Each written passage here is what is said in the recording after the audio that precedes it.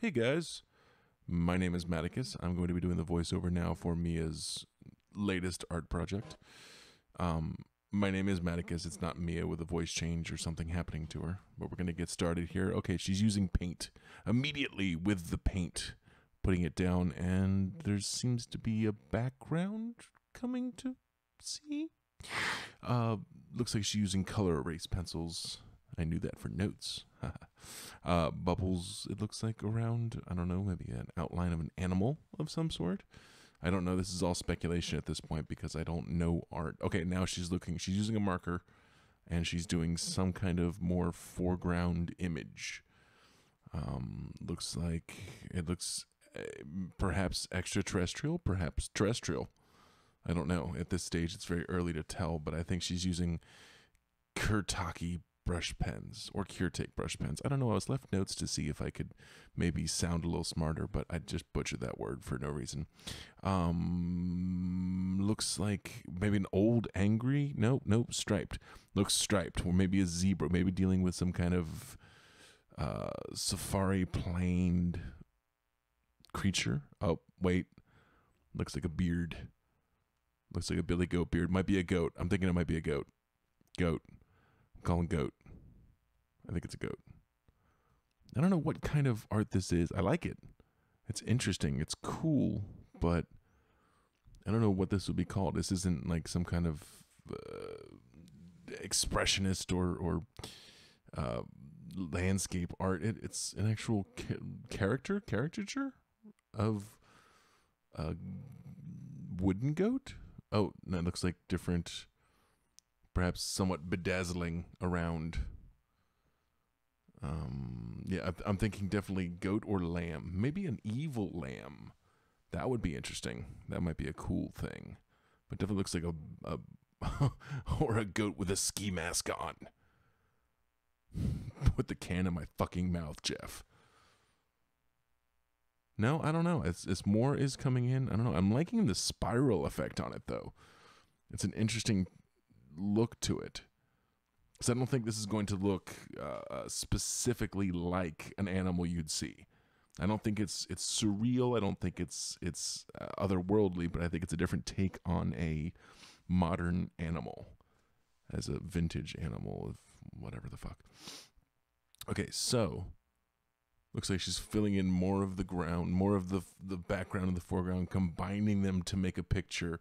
The the combination of background and foreground making something visually interesting at least right now. Looks very cool. I'm liking the the single stroke of spiraling. It's not really spiraling, but it's single stroke of of uh, filling in that imagery.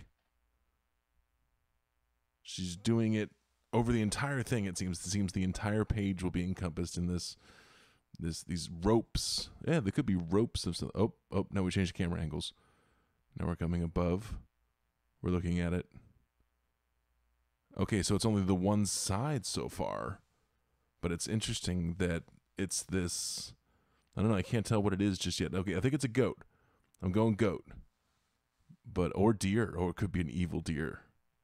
Mia loves deers though, so that's not a problem. If you like the video, you should send her deer uh, memorabilia. It's a fun thing.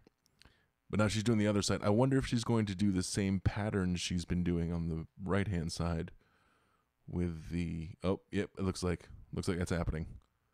It's going down. So she's completing the entire i think the entire picture is going to be like that. Perhaps some will be left blank or negative space as it were which that it, it's an interesting combination of negative space here i think. I don't know. Again i'm trying to talk like i know about art. I don't um the image looks very black metal in a way. I'll talk about things i do know which is music. Um, it looks almost like a image you would see on like a black metal band's record, but like a really like progressive black metal band, one that's not satisfied with the old uh, uh, way of doing things of black metal. Not for fans of Mayhem, but for you know fans of of Yes or King Crimson that just wanted to do blast beats forever. Okay, now that she's she's completing the top half of the picture, is all done in black and white and purple in the background. Oh yes. Oh, there's the can. Of course, it is a goat. Confirmed. Confirmation it's a goat because there's cans. I think is what those are. I definitely think they're cans, and I think that the the the imagery. Oh, it's cool because creating this 3D like effect with the bubbles behind it and what looks like it's it's it looks like it's it's almost coming out of the background and creating the I don't know. I guess it would be a forest. It would be a a uh, uh, oh, he looks happy. He looks either either happy or high. I'm not sure. He's got the the Maticus look on his face. You know, detail the cans. Of course, must detail the cans. I wonder if those are canned beans. Maybe. Maybe there's some sort of canned vegetable. Maybe it's chicken in a can. Maybe that goat lucked out. And they got an entire cheeseburger, entire chicken in a can. Okay, now we're darkening. We're darkening. It looks like oh, it's very trippy. It's very psychedelic but then it is it is it has an underlying almost creepy kind of feel to it in a way. Know, maybe it's the look of the goat. I don't know. Some people might see it and say, you know, it's it's oh, it's very pretty. Oh, it's very nice. But I think it's cool and a little dark.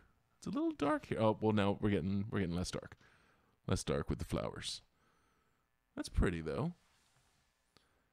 See now, one when a piece is being created, obviously you can speculate about what you think it's going to look like, what's going to end up looking like, and you have you have flowers. You have, I think that, I think the goat maybe vomiting the flowers from the food that he ate in the cans. I'm telling a story with this entire piece right now. I'm creating a narrative. So you guys are lucky. This is, you know, Okay, now we're we're getting more of a shadowing effect. Shadowing, shadowing. I don't know. It's it's it's it's an interesting thing here because the more filling out of the items, the more real the picture becomes. And I'm I'm again completely ignorant to the practices and procedures of art and and you know, I'm not an art critic, but I like this. I like the detail on the face. Like the way the face is looking when it's the shadow down the forehead of the beast and the many horns. It's almost you could almost draw a pentagram in there. Again, it's it's it's it's got some bright colors with the orange in there. I don't know if those are dandelions. I don't know if dandelions are orange, but it looks it looks like it's popping that color if I can coin it Tim Gunn phrase. It's popping that color because the rest of it is is very dark. And oh, she put her pen down. She put it down. I don't know. I think it's done. I think it's complete. Yeah. See that that goat looks that goat looks creepy. Subscribe to our channel. Wow. Yeah. Okay. My name is Maticus. This has been Mia Vox Art. Subscribe, share, check it out.